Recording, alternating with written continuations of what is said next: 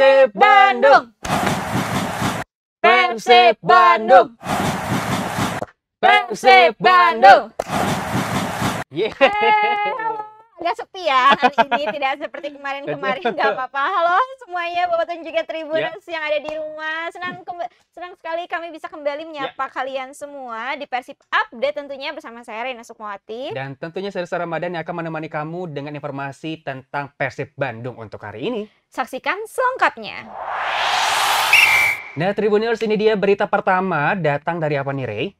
Tentu saja ya berita Mhm. pertama ini adalah berita Betul. yang menyedihkan. Sepertinya saya juga Aduh. tidak sampai mati ngabarinnya.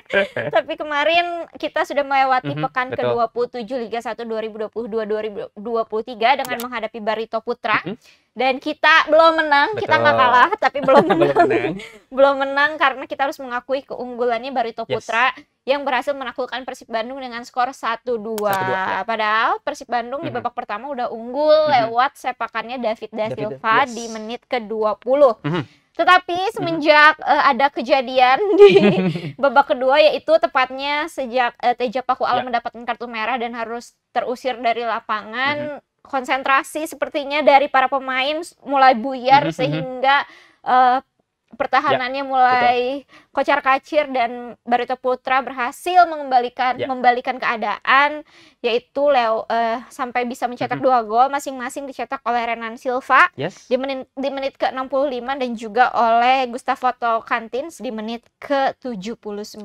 Oh, Oke. Sad gak? Sad gak sih? Iya Agak sih. agak semangat gitu ya. Ah, tapi sih memang eh, dari pertandingan kemarin kita juga masih tetap eh, memiliki sisi positif juga ya bahwa kan nanti juga ada pertandingan eh, selanjutnya yang Iya, mudah-mudahan juga ini. Persib bisa kembali memenangkan ya. betul dan lanjut juga ya menaikkan eh, posisi mereka juga ya di Iya, dua mungkin bisa. bisa ke berapa gitu kan. Ih, kita kita nggak ke satu dong. Ke satu dong.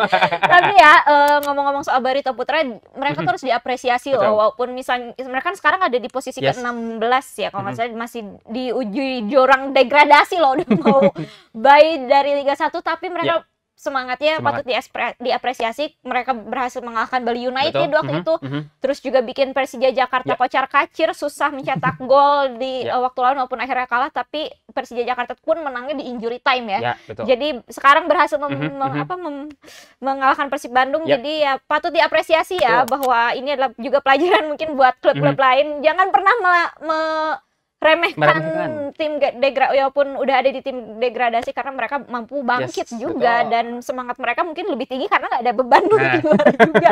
Jadi kita patut mengapresiasi juga ya Mhm. Barito Putra selamat coach Rahmat Dama- Darmawan yang berhasil Yes. eh, melatih anak-anaknya untuk bisa menemukan Persib Bandung. Tapi nggak apa, Persib Bandung tetap juara di hati aku. Yes, betul. Semangat Persib Bandung.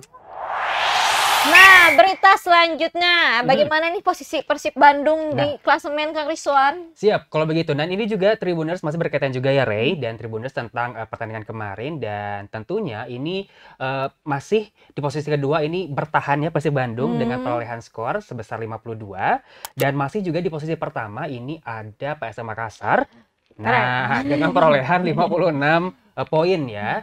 Nah, tentunya juga ini ada kabar meng- meng- apa menggembirakannya juga nih Ray ya. Ternyata juga ini David da Silva kan kemarin berhasil ya mencetak satu gol nih Iya, untuk betul. Persib. Nah, tentunya dirinya ini berhasil berada di puncak top skor. Belum ada yang ya, Hebat ya. belum Nah. ada yang mengalahkan ya. Betul, belum ada yang dan menyusul. ternyata ini juga dia sudah eh, mendapatkan eh, dari semua pertandingan ini 19 gol loh.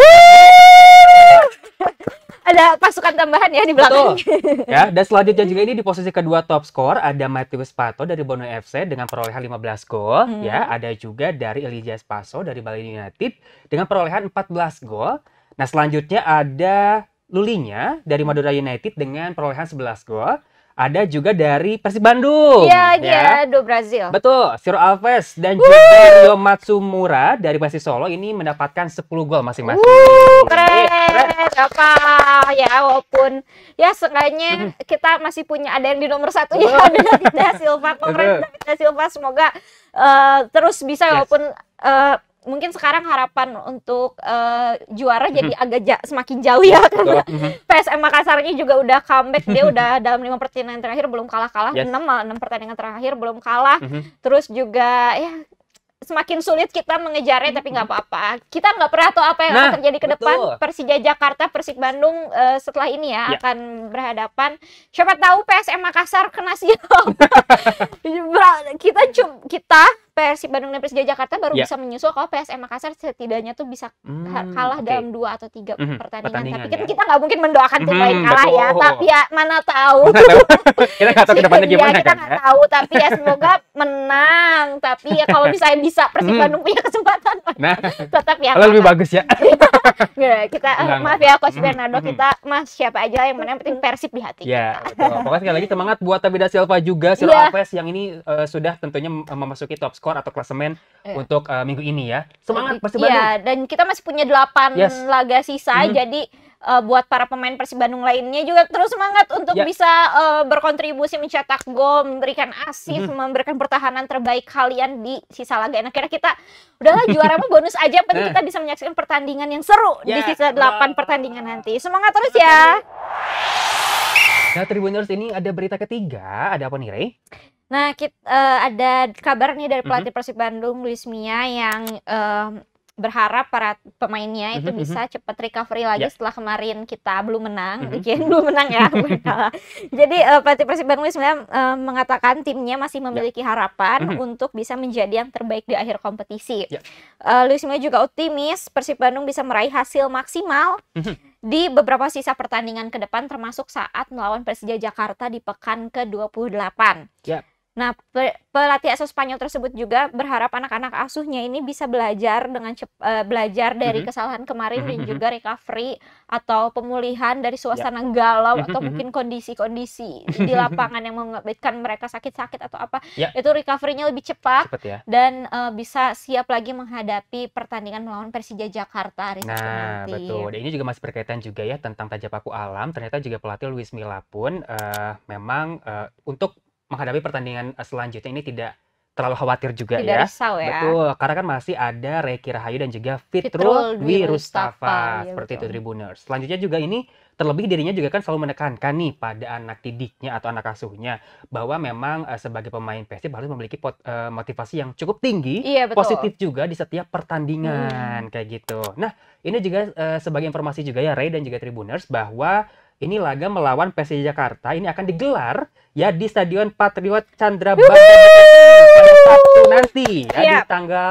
eh, 3 eh maaf 4 eh, Maret. 4 Maret Betul. 2023 ja, kick off jam 3 benar. Betul. Jadi ah ya em, Luis Mia nih kemarin Mhm. jadi kemarin aku sempat cek-cek Ya, ya. Instagramnya Luis Aha, Mia ya mhm. dan eh, para bobotoh juga ternyata nggak marah sama Luis Mia. Mhm, Jadi mhm. emang nggak perlu marah juga Nah, sih? betul. Maksudnya Mhm. perta- kita di awal musim di Yes. zona degradasi loh terus sekarang kita bisa ada di papan atas Betul. bersaing sama Mhm. PSM sama Mhm. Persija ketat kita pernah di puncak Ya. juga ya Mhm. apa pun hasilnya di akhir musim Mhm. ini semoga eh, para pemain dan juga Luis. Mia bisa memberikan eh, yang terbaik apa pun Mhm. hasilnya ya Betul. dan eh, juga para bobotoh senang karena yang kita patut puji juga dari Mhm. Luis Mia adalah tidak pernah menyalahkan Betul. anak Yes. apa ya, satu orang Mhm. atas kekalahan timnya Mhm. jadi ya kalaupun Luis Mia nggak menyalahkan kenapa kita harus jadi ikut menghujat ya nggak Nah, sih betul. kita eh, apa karena yang namanya manusia Yes. lah ya pasti Mhm, buat mhm. salah yang penting kita terus dukung Mhm. terus beri Nasib. support agar para pemain tuh bisa bangkit lagi dan menyerap energi positif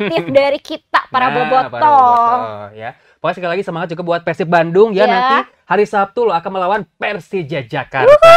Deg-degan banget di Stadion Patriot Candrabaga Betul. ya di Bekasi. Di Bekasi. Kemarin sih kabarnya mau di Su GBK di stadion Oh. tapi kayak tanya kayaknya sih disiapin buat Blackpink dulu.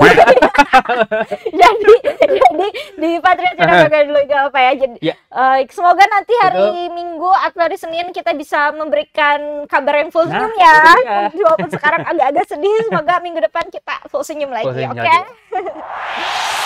Tribuners, itu dia tadi tiga berita informasi terupdate tentang Persib Bandung untuk hari ini. Jangan lupa untuk mengupdate informasi terkini seputar Persib Bandung lainnya di tribunjabar.id, tribuncirebon.com, dan juga tribunpriangan.com. Jangan lupa juga untuk uh, like, komen, dan juga subscribe YouTube channel kami di Tribun Jabar Video. Kalau gitu, saya Rizal Ramadan. Dan saya Reno Sukmawati pamit undur diri untuk hari ini. Sampai jumpa di Persib Update berikutnya. Bye-bye! Persib Bandung! Persib Bandung! Persib Bandung! Bye-bye! Assalamualaikum warahmatullahi wabarakatuh.